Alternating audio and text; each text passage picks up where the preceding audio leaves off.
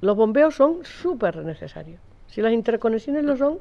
los bombeos son aún más. ¿Por qué? Porque sin bombeos podemos tener todas las islas llenas de parques eólicos, pero esos parques eólicos, si no hay bombeos,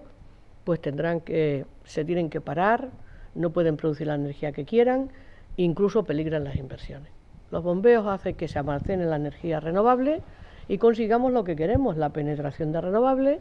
y reduzcamos la dependencia de los fósiles, que como ustedes saben estamos casi en un 98%. Por tanto, hoy tenemos resuelto el concurso, hemos hecho un paso de un 20%, con lo cual es muy importante en un avance en las renovables y nos quedan que si culminamos las interconexiones, que creo que sí, y desde luego los almacenamientos en Canarias,